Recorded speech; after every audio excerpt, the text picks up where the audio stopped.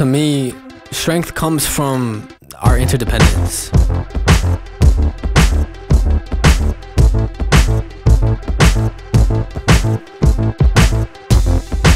I see strength stem from the relationships and connections that bind us together and remind us that we're all a part of something that is much bigger than just ourselves.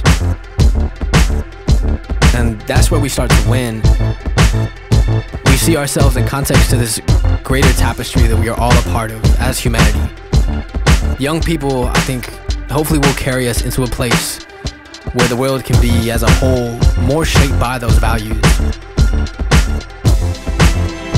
It's really like zooming out from yourself and asking, what does the world need? What does the community need? What do you have to offer? You don't have to save the world by yourself.